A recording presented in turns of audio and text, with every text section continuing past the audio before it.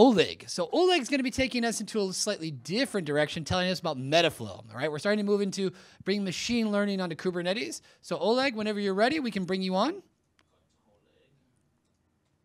Hey, what's up, man? How you doing? Hello. Hi, guys. How you guys? Good, good, good. Uh, we can see you perfectly. We can hear you perfectly. It's all yours, man. Take it away. Amazing. Okay, well, I'm glad to be here, but yeah, I'll talk a little bit about uh, our little project called Metaflow and how we brought it to uh, Kubernetes. But first, obviously, I may spend some a few minutes to talk about what Metaflow actually is before I jump into all the kind of juicy Kubernetes stuff. And uh, probably, hopefully, not going to take too much time to explain it, but it is a machine learning infrastructure framework uh, that is open source. It came out of uh, was developed at Netflix originally a few years ago, and then open sourced I think in 2019. Yeah, probably coming up on two years now. And it was built to help data scientists and machine learning practitioners, uh, machine learning engineers at Netflix to uh, ship their models and whatever they develop to production.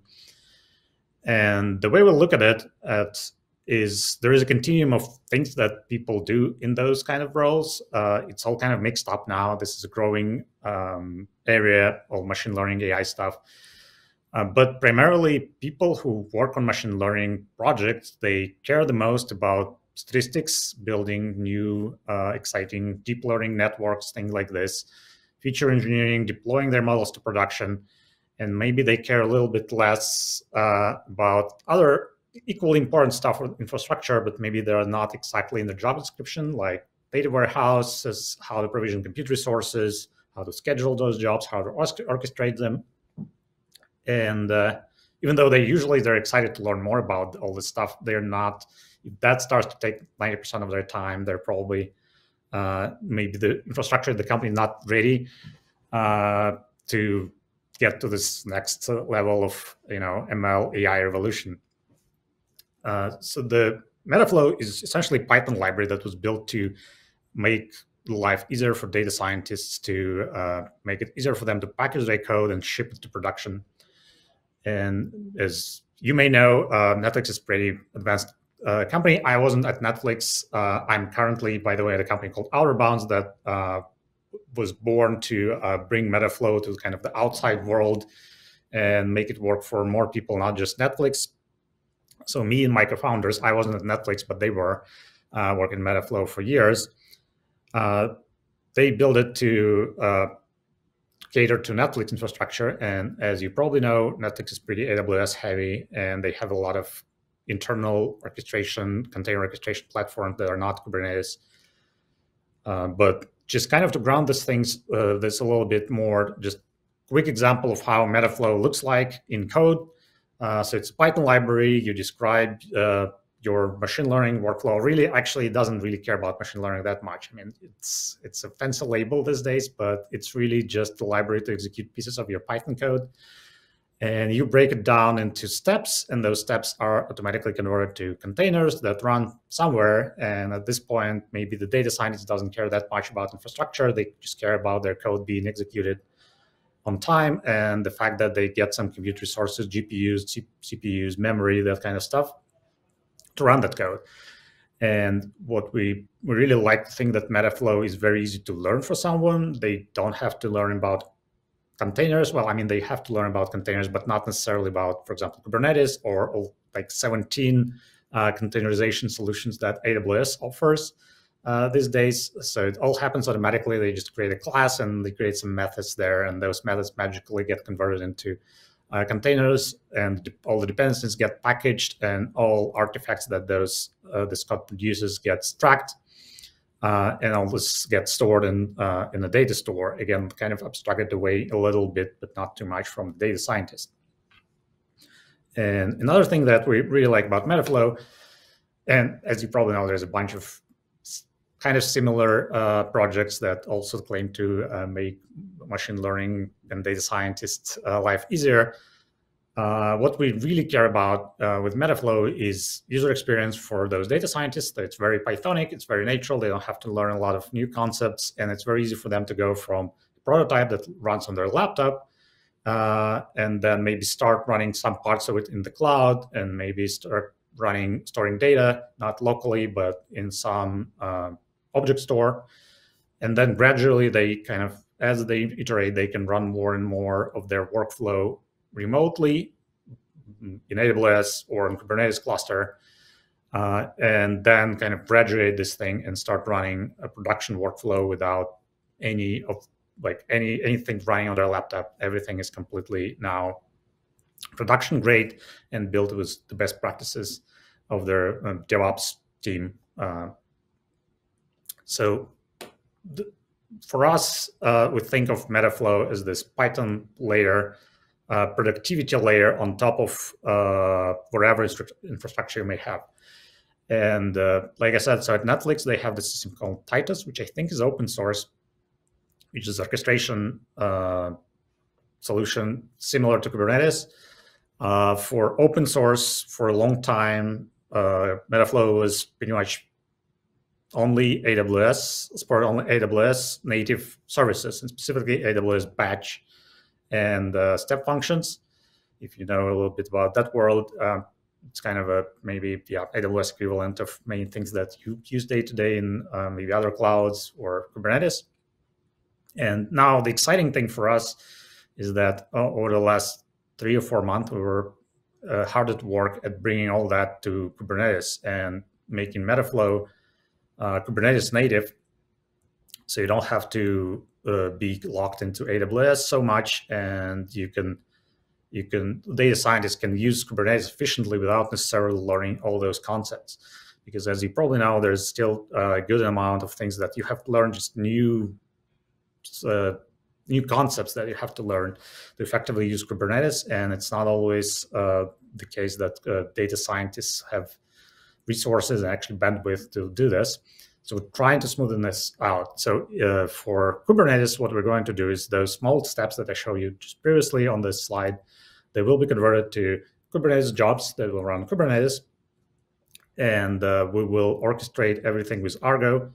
If you want to ship uh, your workflow to production, if you don't, you can just run parts of your code in Kubernetes easily uh, by using those nifty Python decorators and then kind of be done with this. And again, this should hopefully will become our main recommended solution for people running those data intensive workloads uh, is to just use Kubernetes and kind of stop caring about anything else, and that kind of brings them uh, capabilities, all the, all the all the benefits that you will know uh, that when it comes to configuration management and uh, multi-cloud story and security. And I think in this talk, what I wanted to talk about is a little bit about uh, our journey, how we actually built this, because I did use a Kubernetes for a few years now, but I cannot call myself a kind of a huge um, frontier man. I don't know if that's a word, but uh, kind of uh, I, I'm still I feel I still feel like I'm new to the whole ecosystem, and there are a few challenges and a few things that we learned about Kubernetes. Some of them were actually very positive surprises for us, and maybe I can offer some perspective on how Kubernetes can be even more friendly to this whole kind of machine learning data science industry. And where I think, especially when it comes to data and data intensive workloads, where it has something unique to offer compared to the more like, I guess different sense like vendor cloud native uh, offerings. Uh, so first thing is maybe a little bit of a challenge that we encountered, and it's I wouldn't say it's unique to Kubernetes really, but um, so as you well know, the biggest advantage really of Kubernetes is that it's completely declarative approach to infrastructure. You just describe things in this uh, YAML, I guess, domain specific language, and things just happen. So you say, I need to have a service, I have to have an ingress, secrets, whatever, running in my cluster. I do kubectl apply, and it just happens. So that my infrastructure kind of smoothly um, moves into the state uh, that I just described, and I don't really care how it got there. So the challenge with machine learning orchestration and like orchestrating data pipelines is really the final state doesn't matter that much. Like the final state is always nothing is running. Like if I schedule my machine learning training job, I really know like the end state is not that interesting. The, the, the most interesting part is how we get there because my job needs to run. It can fail for a thousand reasons. As I iterate, it may start requiring more memory. It requires a GPU. It times out. Something happens and all those intermediate states is the most interesting thing if you think about it from the data scientist perspective or from uh, the perspective of someone who has to debug and iterate on those uh, workflows. And again, partially, this is kind of the flip side of the benefits that Kubernetes has with all this declarative infrastructure, uh, is that a lot of things a lot of things happen through operators and controllers and they all happen asynchronously. So there's really uh, a lot of time that there's this intermediate states and with controllers those uh, the controlled objects like the the uh, Kubernetes object that controller creates they may not always match the state of the kind of parent uh, object or a custom resource and uh, that was a little bit of a surprise for us. Not, a surprise for us but something we had to spend a lot of time on reconciling those states and making sure they're exposed. And i think it's actually mm, coming back to the kind of the topic of the day the data on kubernetes this is also true for uh, stateful workloads because again uh, at, at its core kubernetes is very declarative.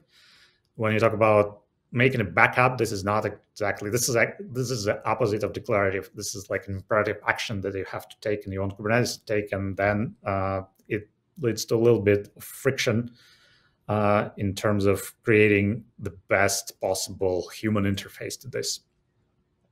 Um, so that was that was a little bit of a challenge.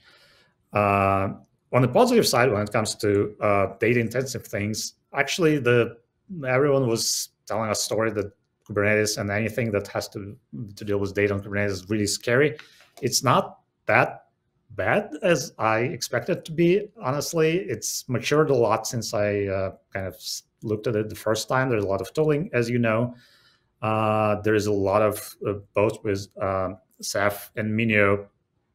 If you want to run object stores on Kubernetes, it's relatively smooth onboarding experience. I should say again, like coming from this AWS uh, vendor specific uh, land of where you kind of pay a lot of money for those things and they still don't work. A lot of the stuff is actually smoother on Kubernetes, surprisingly, even more than some of the commercial offerings that I have. This, I have the screenshots here of uh, AWS step functions just for fun and Batch. Uh, they are super clunky, and I think uh, kind of Kubernetes definitely Kubernetes story these days is actually is definitely a lot easier uh, to get started with, and just tooling that you can provide for people to debug all the issues they they, they run into uh, when running those workloads. Um, and when it comes to storage, actually, where's my clicker here? Um, so Metaflow has there's a lot of time invested in Metaflow in making kind of creating utility libraries and making sure everything when people when data scientists write those workloads obviously they work with a lot of data. Usually it's stored in some object storage and the metaflow team back at netflix spend a lot of time uh, making sure the performance is optimal because it's uh, it's sounds easy to just kind of download files from the object store you know you really get object whatever. Actually there's a lot of things that can go wrong uh, it's easy to download things. It's hard to make this object store perform great, even if uh, the actual object store is owned for, let's say, AWS. If you talk about S3, writing a decently performant client for S for S3 for downloading files at full bandwidth, like 10 gigabits or more per second, is not trivial. So we spend a lot of time on this. And as we migrated to, uh, started to migrate Metaflow to Kubernetes, started looking into uh, Kubernetes native data storage solutions, uh, you all know. And uh, there have been the good surprises is like since we support S3 API, we're pretty much out of the box compatible with Minio and uh, Ceph. Uh, and that works. Uh, there's still a lot of work ahead of us to make sure the performance is uh, on par with uh, vendor specific solutions, but very optimistic here actually because I, I used Minio maybe years ago, but it wasn't as easy as, as it is today. Definitely, uh, they've made, made huge progress on making this accessible. It's still not 100% clear which way someone should go. So I was actually hoping uh, maybe for me the takeaway from this is maybe someone will uh, I'll, I'll, get a better idea what uh, what offering what open source offering on Kubernetes is actually the most stable and something that we can recommend to our customers. And one big thing, uh, at least maybe one take, small takeaway from this talk is that I think there's a unique opportunity uh, for this community and for everyone who cares about Kubernetes and specifically running data data intensive workloads on Kubernetes uh, compared to vendor offerings uh, Kubernetes can actually, as complex as it is in some regards, this is an opportunity to simplify authentication and access story a lot for those people. Because one example is recently, like two weeks ago, we actually had a joint blog post with Seldon, who is obviously very Kubernetes native company. If you know them, they uh, develop an open source solution for model deployment in Kubernetes, and we take a stab at it. We uh, try to imagine how work a full end-to-end workflow for a data scientist would look like if they were using Metaflow for orchestrating batch jobs, so like uh, getting the data extracted from whatever, uh, then writing their machine learning models, train them, then deploy the um, uh, then deploy them to production as microservices using Seldon, and pretty much 90% of this just works. Uh, works great. It's relatively intuitive.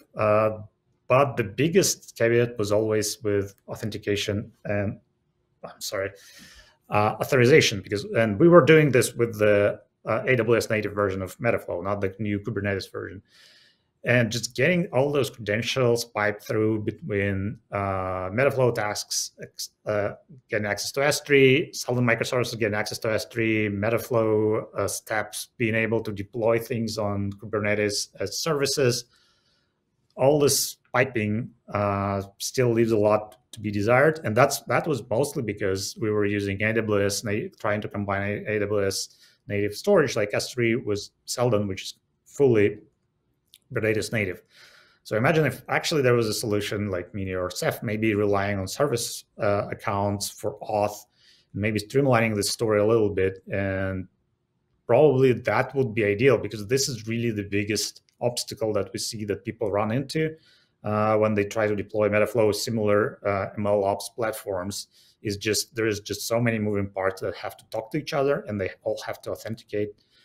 And there's it's just really hard to get this done on any public cloud as even though they put a lot of effort in making this smoother. And I think Kubernetes with this unified API for everything basically and operators and pretty much infinite extensibility uh, may be the answer here, or at least I'm very optimistic that it is.